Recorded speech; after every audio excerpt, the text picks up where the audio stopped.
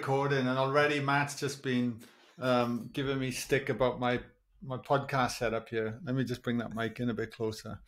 So yeah, the picture on the wall behind me is Tom Blake, and you are yeah. Well, I thought it was Tom Carroll. You got this uh, these big wood surfboards behind you. It looks like you. Yeah. Got No, it was taken in Hawaii in 1928. That photograph. Oh, were you there? believe it or not. No, but it, it's it, it, Linda actually brought brought it in when we moved in together. This this big picture came in, and um, and we've hung it up everywhere, and I love it. I actually I actually give him a nod every every day I come in to do a podcast. When I stage the room, I actually blow sage to him and welcome his energy, and he looks so happy and content in that photo. It's like he's as free as you could ever be. So. I just I really enjoy it. There you go. I, I'll have to look him up. If there's anyone listening to this who knows of a surfer called Tom Blake in 1928, Well, to have a picture like that, he he must have some story behind him. He must be some legend. I think so. He looks like a legend. He does. He's He's- he's ripped yeah. like a legend. Yeah, yeah, yeah, yeah. Well, that that just uh, drops into the whole theme of today, like freedom and, and travel, doesn't it? It does. That that picture makes me think of these things. It's like wow, you know. Hence why I live in Yamba. Uh, one of the- you know, surrounded by 13 beaches. I just don't surf enough. That's it. you know. But yeah, we wanted to record a podcast. One, mate, I, I can't tell you how many emails and Instagram posts I'm getting off people constantly. Where's Matt? Where's Matt? No. He's never on the podcast anymore. They're like, thank God that guy's not on there waffling about who knows what. You know, it's a tall order, mate, because some of the guests I've had on at the moment and the conversations have been blowing my mind. Right, know? it's insane. You- You're going next level. I'm in, I'm Yeah. inspired just watching. But uh, you know, in our busy lives, is if believe it or not, it's really hard for us to pin the time down to actually do do a podcast. Well, pin a time. It's also the location, which is part of the reason I was giving you hell for your backdrop there, mate. Because we've tried how many times to do this at one of our weekend workshops, right? Yeah, exactly. Whether it's the the lighting's off or there's a Nazi uh, manager at the space that doesn't let us actually be more than an hour of what we paid for. I know. if people only could see the workings, uh, the inner mechanics of the, the workshop being set up, That's right. you know, getting but there. here we are. Yeah. And we wanted to speak about, because obviously um, we're running a retreat in Portugal this year. And this is my first time to leave Australia since the lockdowns. And Same. I'm getting very excited. Like Right. airplane tickets are booked, I know. accommodations are starting to get booked, things are lining up. Oh, you're a And, step ahead um, of me. I guess I should find a place to stay while I'm over there. I thought I'd just get there and just let it roll. Um, Even better. Even better. but you're going on your own. See, I'm going with a wife and a child. And that's true. interesting because I, I, I would th- often think about, because naturally we want to talk about the benefits of travel and how it can, for spiritual growth, soul growth, mental, emotional, everything, right? I mean, I, I know when we look back upon our lives, I have some of the my, my fondest memories of the, the travel and the adventures, the challenges and everything that I come across. But it's interesting you say that because I've been wanting to lean back into that full surrender, but my my mental aspect around it has changed now that I have deeper responsibilities with a two and a half year old that I'm taking traveling. Because I used to just get on a plane and Yeah. not even with a backpack and just turn up and and see what happens. I'm not Yeah. sure if they'll let me get away with that now. well, you might get more mileage with a crying baby on your hip, mate. So This is true, right? This is true. people will take you off the street, say, "Help this poor family out." exactly. Yeah. Exactly. Yeah, I would lean. I'd lean heavily into my Welsh accent. You know, if I was trying to trying to get a, well, a I- room. Something. These days, I don't get very far with an American accent, so I, they want to just like kick me to the curb. But uh, back in the day, it was all right. I do have my my tickets. I've I've got a hard copy of the tickets in this day and age. Can you imagine? Um, Wow. Sitting by my on my bedside table, and every morning I just I catch a glance gl- glimpse of that. I'm like, oh, it's just because, like you said, I haven't been out of the country for what three years now, two two three Mhm. years. Longest that I've been in one place probably since I was 18. Yeah. Wow. yeah. So yeah, it's exciting. It has this sense of freedom and it's like, wow, let's let's go. What's next? What opportunities exactly. await? Know? Well, let's talk about then. We thought we'd reminisce a little bit on our individualized journeys about travel, and there's been moments I have no doubt you can reflect upon that have you know have been defining moments in in life. Really, I mean, hmm. I can I can think of many that have actually supported the tra- the trajectory that I'm now on. You know. So, do you want to start? My phone was ringing. I'm just making sure it's on silent. There you go. oh, was that like a, a, a vague constructed question? I thought it was a question. So, to sh- sh- share a moment with us, something that. Right, so many things come to mind because as you're talking, I'm just like, wow, my whole my whole life. If I if I didn't have access to travel and to, to different experiences outside of the, you know, cornfields, pickup trucks, and you know shotgun midwest lifestyle that i i lived in as a, as a child as a teen i wouldn't be doing this work. I wouldn't have access to these things that actually light me up and set my soul on fire. You know it's like wow like because I, I, had to leave indiana. I, I cruised across the states to los angeles of all places and then bounced around california before i settled into uh, sleeping on a on a, a couch on the on the veranda of my mate's uh, apartment um, overlooking the uh, Redondo Beach Pier, listening to seals barking and waves crashing as I fell asleep every night. And that was for three months as I started to find my feet and get my life together. And it's like that that initial experience of getting out of the everyday and my lifestyle that I knew it was so familiar to me, then opened my mind and my life to so many other possibilities and so many other experiences and from there it started to lead into wow what what creative spiritual experiences can i have outside of mm. the, hmm. the box of what i know i do have a question for you that's popping in there like because reflecting back as when, when, we're younger we tend to be a bit more gung, gung-ho don't you know a bit more fearless don't think things through and i've even seen now when we talk about Portugal or people, because generally our demographic that comes above 40, so 40, you know, 50s and some 60s and some even in their 70s, right? Yeah. And we get like, it's almost like we, we lose that, that essence of that, that youth, you know what I mean? That, that just you, used to trickle through to a degree but and I say this because I ponder on these things. I'm like, wow, am I being just an older fuddy duddy in the way I'm looking, you know, and making sure all the ducks are in line, or am I still being that free spirited guy and allowing for the growth to happen and just be aware of the things that arise when we look to make these decisions and lean into those aspects. Do you know what I'm saying? Like, yeah, where where are you at right now when it comes to these things? Because I know you were you were very gung ho, mate. You know, it's still in, in me. Your mate. approach. um, well, I know. I, I see the way you bloody just rock up, at, you know, when we're traveling a couple of hundred k's, mate. I know. Yeah, it's all disarray, isn't it? But it's um I, I I wonder that too. Am I? And that, actually, that's one of the things with the work, isn't it? I just kind of, I just like to blow things up and then then put the pieces back together, because I I get uncomfortable being comfortable, and I think that's, uh, a, I think that a lot of people are the other way around, and um, and I think that that's also been one of my gifts is this ability to just kind of leap into the unknown and see what happens. Like I just get so excited when I, when plans fall apart, and it's like, well, what what's next? I freak out. Like I'm. you see me in the retreats. I love the chairs in a certain order, but then to actually um, that have that space to be like, well, wait, the chairs are all mixed up. How can I be? How can I find order in this disarray, in this disorder? Hmm. And so the kids the kid i think there's it's a it's a double-edged sword though isn't it? Because i know that with my kids coming in i'm quite tethered now to them right as you would be.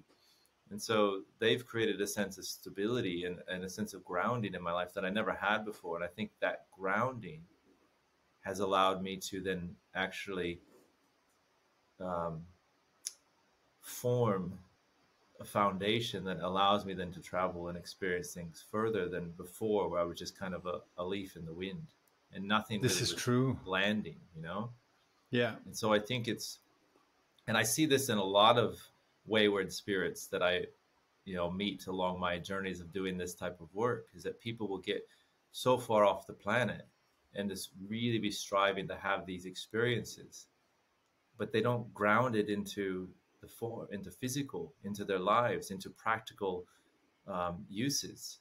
And I think then then it's like that's the other extreme. They're missing it. Whereas you know, a lot of people get really anchored in and grounded, and then their the malleability of of who they are and who they could be becomes rigid, and they then they don't have this capacity to start to make the changes that become often a distant memory for them of these childhood like dreams and and and desires. And it's like we just we become resigned to this rigid structure that we actually have created for ourselves you know? I don't know. What do, what do you think? I'm just go i'm going mate i'm you, you yeah no a thousand percent. It breaks patterns. Travel breaks patterns. Like if, if you like we get certain ruts but a couple of things i i feel as well sometimes that we get so comfortable. We are actually uncomfortable but we haven't identified it as discomfort. And, and then it manifests in many areas of in our life. It's just we haven't been able to uh, become aware enough of certain things or why we do certain things and question the fundamental reasonings behind the things we do what we do. And yet i think it's the boiling frog syndrome then you yeah, know, where you put, put, put the frog in the saucepan and we just oh, it's warm, it's comfortable, you know. And then, there's, but there's a point where it's why, like, why is my skin falling off? exactly, exactly. But yeah. if we're of course exposed to the sharp pain instantly, we, we will jump right out of that water mm. as opposed to just boil away in it. So I'm very aware of that, and I think you know being able to reflect upon many travel experiences is it's been a great way to anchor that in to stay self motivated in terms of knowing when you're need to shake it up and, and do some travel. I mean, we had this Portugal retreat actually booked in 2020, didn't we? April 2020, and then yeah. the world just started locking down in we planned February, that well. March. yeah, I know, right? and um, and you know, Enrique uh, and Verena, you know, the beautiful souls that all the uh, own the retreat center in Portugal. You know, we've been worked with them ever since. We're like, hold the deposit, we're coming. Like it's actually been a, one of these things where no, it's happening. You know, even if it was locked down for ten years, we're coming, kind of mm. thing. So coming back into that, it's nice to be able to reflect upon that. You know, it's interesting as well in my own journey travel was escapism for me for a while. You know, yeah, when I was exactly. younger. Yeah. It, it was avoiding the very things that I needed to address. But at the time, I didn't understand. I didn't know how to articulate that or understand it. I hadn't been given any guidance or mentoring of people that had the experience who had gone through everything that I was going through. So it was almost like you're fumbling around in the dark until you finally stumble across something and that let, let a bit of light in, you know, um, which in reflection, a lot of growth still came from that, but it was challenging because I knew deep in my heart I was running yeah. away from the very things I wanted to address, you know. But, um, you know, what difference does that make for today? I guess the fact is leaning in older and wiser, well, you could say a little wiser. Um, it's like fine wine; you get to appreciate it more. I think. I think I'll I'll go into these adventures really wanting to absorb the the the things and the adventures and the the unknown that will come our way through that time, and ideally see everything as an opportunity for that growth. Going to a different country that's a foreign language that they can't speak. Like we're going to spend a couple of days in Tokyo, and on the way over, and part of my brain's like, "Oh my god, they're all going to be speaking Japanese. How am I going to, you know, how am I going to get from A to B? What am I going to do? Am I gonna, you know, am I, uh, you know, the, the the monkey and the other part's like, guy, you've traveled like how many countries have you been to? How many foreign countries have you been to? Why is it any different now? You might be a bit rusty. So I get excited then by leaning into those smaller challenges to allow me to shake up the patterns that that I'm living on a daily basis.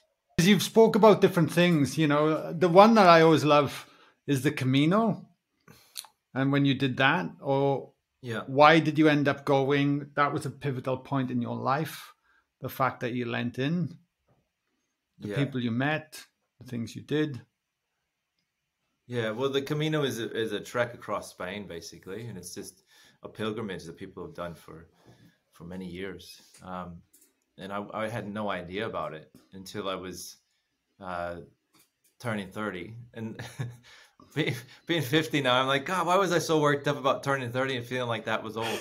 Um, that was a pivotal point for me. I'm like, wow, I'm over the hill now. I'm 30, and I thought, well, I want to meet that milestone with um, with something new, a new a new way of looking at things. I, I was um, yeah doing massage work in in Los Angeles and catering to um, the rich and famous, and um, it was like it, it, was it was rewarding in one way, but it was also uh, exhausting and, and not fulfilling. And so I'm like, well, what else is there? There must be something beyond the the the hype of Hollywood, and um, and so that started my my curiosity, and I was just started to lean into then more spiritual travel and what it, what can I do, what what's out there, and uh, Saint Francis really appealed to me as somebody to connect with and go to Assisi in, in, in Italy, and so that was my initial plan. I'm going to go to Rome for my thirtieth, um, spend some time there, and find my way up to Assisi, and have like a few days. And um, a, a typical American traveler, let me let me just take a weekend. and see seven countries. Um, so, but in that moment, it's like this is the beauty of travel. This is the beauty of actually setting an intention, setting setting yourself to to find more beyond what you know and to explore and to, to see the vastness of this world. And, and so it was like in that moment, I all of a sudden Shirley MacLaine's book um, on the Camino fell into my lap. And as I was planning this trip to Rome and reading her book cover to cover in like two days, I was just consumed by it. And it just inspired this seed of opportunity. I was like, wow, I could actually walk the Camino if I extend my trip a little bit and go from Rome over to Spain and then start walking. And I figured it's going to take me two months to get all this in.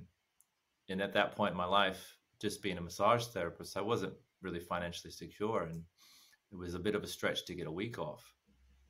But within a day of reading that book and having that idea that I want to try walk the Camino, my uh, roommate came to me and says, "Hey, I'm moving out. You're gonna have to leave."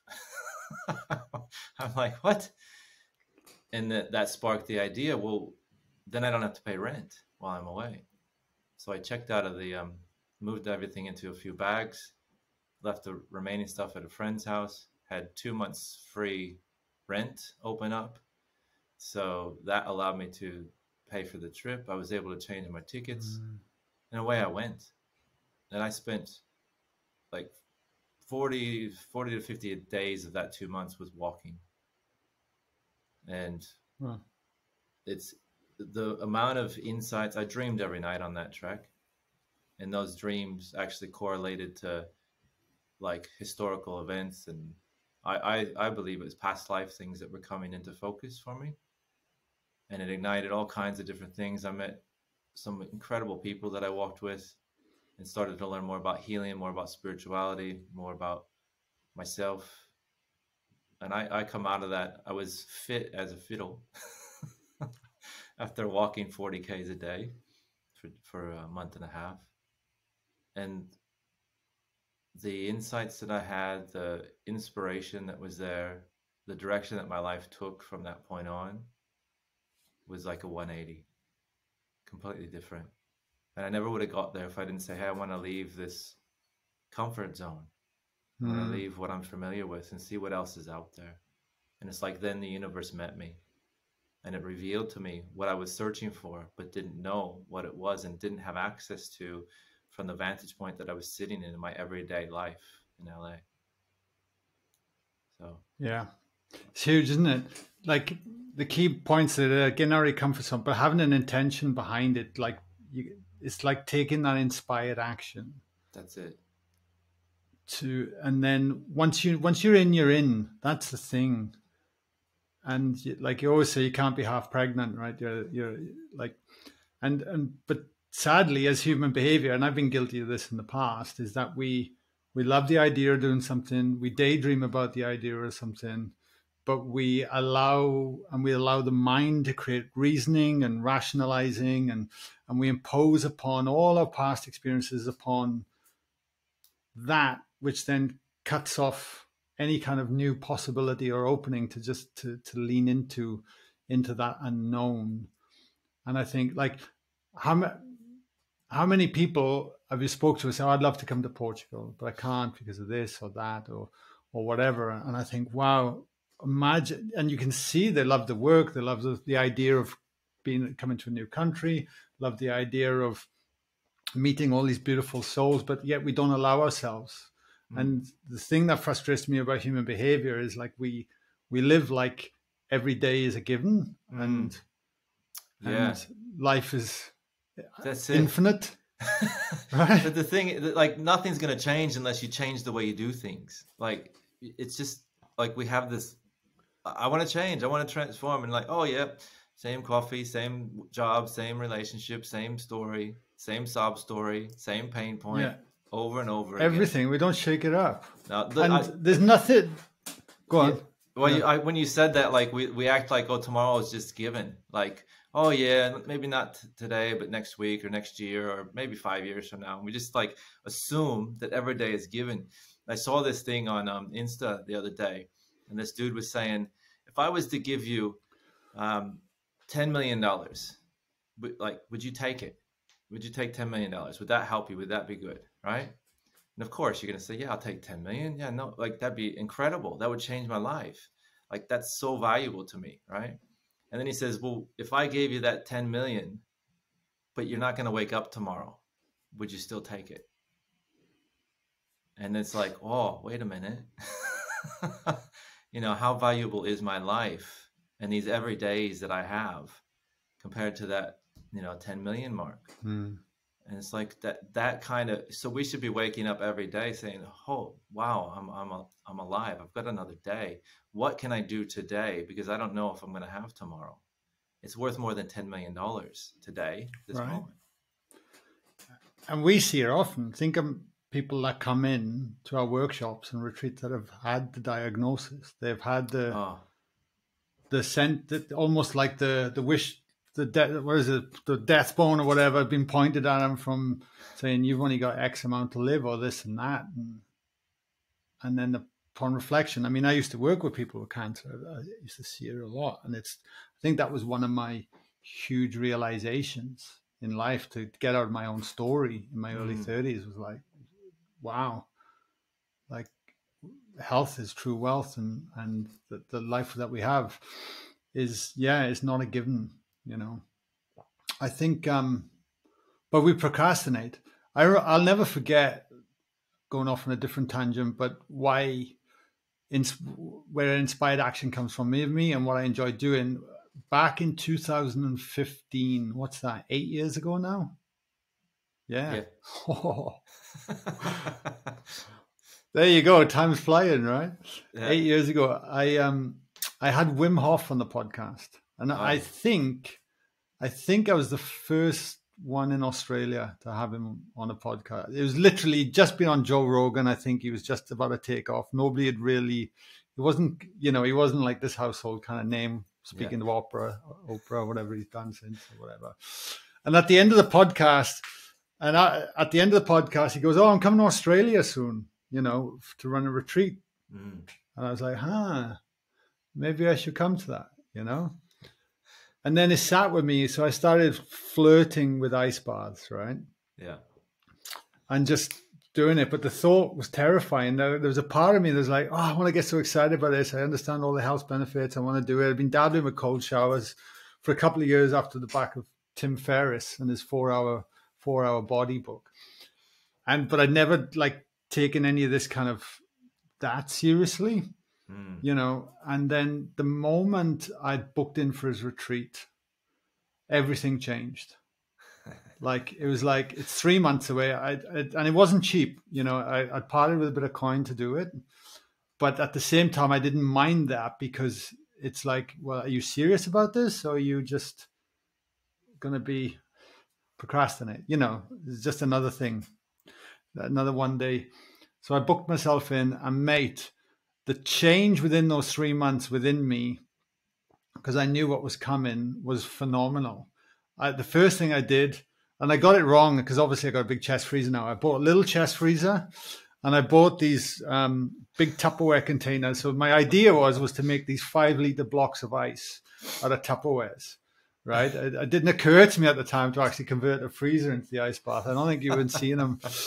so I'd be go filling these bloody ice buckets up, and then I'd be going up there and, and, bathing twice a week. And I thought, yeah, I'm the man. I'm getting. And then I bought a thermometer and realized it was only ten degrees, and I was like, oh my god, this is getting there. But um, but the point was, I guess the point of the story was is that once I'd made the the commitment, I'm like, okay, I'm in. I'm not fence sitting anymore um, everything shifted. And and I look back with such fond memories upon that time of just the playfulness and me getting it completely wrong and and leaning into that unknown was was was a highlight.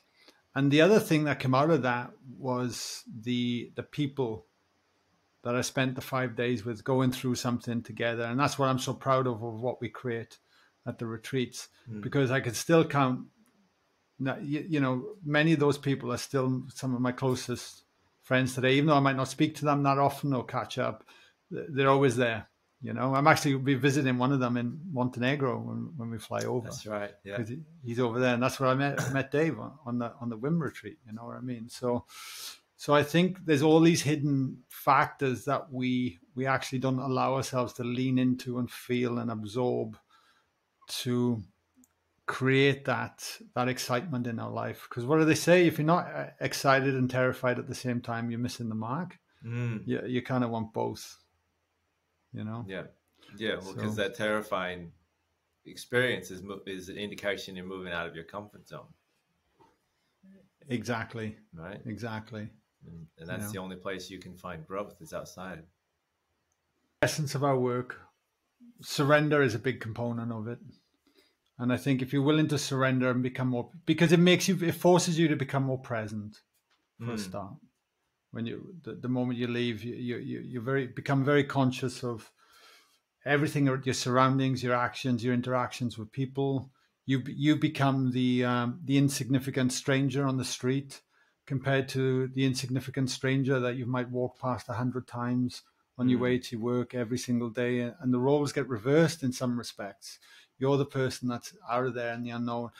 And eh, we then get an opportunity to shift our perspective to look can we look at these as opportunities instead of um, obstacles yes you know there's there's this, this fine moments and all i all i want to i guess the other thing i want to say in it like is that if you start to lean into surrender start to lean into the, the very fact that we create a resilience within ourselves, no matter what the external world is doing, we can then start to continue to develop that in there. Because I mean, look how many people travel at the end of the day. A lot. You know, we end up in our little bubbles. You got, you know, I don't watch TV, but I go in many houses around you that do, and you kind of get sucked into this vacuum vortex of of one lens of what you think the world really is. Mm or how it's been portrayed in some respects. And and by getting out and moving around and being somewhere else, it, it just shifts all of that. Yeah, but not you, not only just getting out and moving around, because I know a lot of people travel, but many people will travel. It's almost like those people that will have these RVs that are like the size of their house, and then they just get everything that distracts them and that they're attached to, and they put it in an RV, and then they just move their chaotic you know disaligned misaligned life to a field and then plug into a socket there so they can get wi-fi and all the other stuff and netflix and still have the same experience but just in a different location. It's like well can you surrender the the distractions and the things that you hold on to? Because it's like at the end of the day we we do hold so much you know we, we do have so much in our hands. It's like responsibilities the to-dos the the crutches you know the addictions the the sugars the processed food the netflix the uh, facebook the you know the list can go on and on and on about all these things that we use to distract ourselves and not actually look within and what's going on. And that's then what we hold in our hands right so if we have all that that we're holding in our hands how are we ever going to pick anything else up? How are we mm-hmm. ever going to be able to grab and, and take hold of something new and something something different? We can't. We got to actually put all that stuff down. And then we have open hands. And that's where the surrender comes in. I, am I'm, I'm open. And it's like you, you you lent into this that concept of like well then you become the stranger on the street and you're seeking connection and and and the resourcefulness just goes through the roof. The the opportunities go through the roof. The the insights the inspiration. Again all that just rises because you're wide open to possibility and and the awe and wonder of what life is going to reveal to you. And we say that all the time in, in the work. It's like you know people come in into the, the retreats we see it all the time but they're just closed off and they're like in their little bubble and they're like on guard. And it's like well who are these strangers? And it's like well wait a minute. They're just here exploring too and what beauty and what wisdom do they have to offer to me? And i think when i travel and i and i start to experience that and i, I oftentimes when i'm in that unknown and like you know like you say just a backpack and let's let's see where i land tonight it's like then you open yourself up to having to rely or having to be vulnerable to other people. And like and it's like wow what and then in that the synchronicities align and you meet this person that has the exact perception or opportunity or for your your night for your experience for your journey. And it's like that's just a microcosm of what's possible in life. And i always find myself come back from these trips and like I, I can even remember uh, like coming back from walking the camino and i'm back in la where everyone's just like you know, oh. closed off. Don't and I'm like, hey, right? how you going? and talking to the guy making the coffee, talking to, you know, somebody on the street and like, and they're just, they're stunned. What are you talking to me? Like, and, but it's like, you're that open. And, and, it, and in that, I, I made some beautiful connections, new friends, new opportunities, new, new business opportunities and things revealed themselves as I was in the everyday life with that openness from the experience of getting out of my, my own comfort zone. Isn't that the truth? It's like wow, it's all right there. I, I, feel like I'm reminiscing because this is why I'm getting so excited. Because I remember doing a shamanic journey in England, mm. and then we came out of that, caught the train. Like I slept there the night then, and came out of that the next morning, and there were three of us. We all used to live together, and we're like, let's go. Where's the warmest place in Europe right now? and and we pulled it up on the TV on the teletext, and uh, and it was Dubrovnik in Croatia, and that was Sunday morning, and we caught a flight Monday morning. We said, let's go to Dubrovnik. And what we didn't know was that it was peak, peak time to go to Dubrovnik. Right. Apparently, right? You know, and apparently all the the ferries come in, and like forty thousand visitors just in, just pouring wow. off the boat like every day. Well, like cruise ships and stuff. Cruise ships and that, yeah, yeah, wow. in the old town, right? So it, all of by nine o'clock, it's like rammed. It's just bodies everywhere, and we had rocked up, but I was so open. I was so in the moment. We we didn't have accommodation. We didn't have like I had had any clothes with me.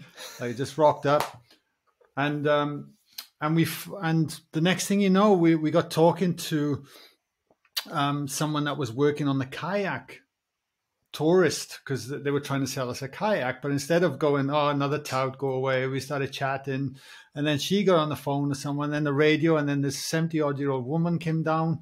She's like, Are you crazy? You come to Dubrovnik with no accommodation. You know, she's giving us, she's like telling us off. And she's like, and then she gets on the radio and she's like, Oh, would you believe it? I've got you a room. Now you can have this room. I normally charge this much, but you can have it for this much. And they and it was like 90 bucks a day or something. It was ridiculously cheap, but it was smack bang in the old town. Mm.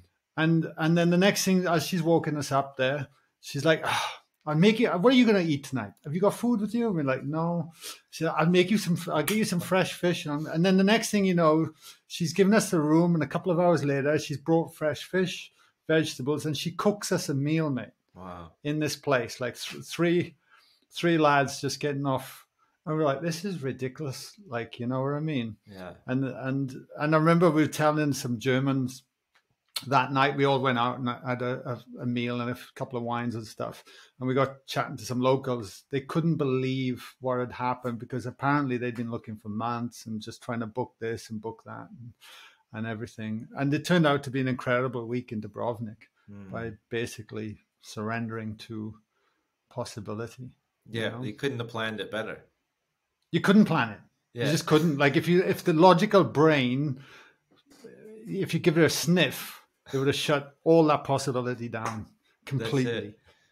That's, that's what we do every day, and that it's it's that every exact moment. thing, exact that that exact thing that we that gets in our way of the life that's wanting to meet us. Exactly. It's, oh, I can't go. I don't have the time. All the kids, all the money, all work, all this, all that, all my hip, all. get over it's yourself and get on with exactly. Life. Jeez. Yeah. Yeah. Yeah. So anyway, to, to bring the podcast to a close, I'm I'm genuinely cannot wait to to lean into this this adventure. And the one thing that fills me up no end as well is not only are we doing our first retreat in Europe, obviously because Petra's from Croatia and it's our turn to get over there, but um, so not with all the, my own travel and and uh, taking Ava for the first time aside as well, um, is bringing people together to do this work. Mm. And it's going to be an incredible experience because everyone's going to be traveling from all over the world, from all different nations, from, you know, different yeah. cultures, different people. And a ha- handful of people that we know from our online programs. Like we've yes. done it for years. And yes. they, they, finally can come in and like meet us in person. They're just over the moon. I know. So it's incredible. so are we. You know, and to bring a body of people together like that mm-hmm. that that oh, doesn't matter how much money you earn what you do what culture you're from whatever it is you know we get beyond all that nonsense and really connect back to the heart and soul of of what it means to be human and, and hold a space and the, the every time what comes out of that blows my mind so to be doing this in portugal which i've never been to portugal mm. as well so you know, it's why why wouldn't you want to do that and get excited? Mm. Any words of wisdom to finish, mate? You said a few today.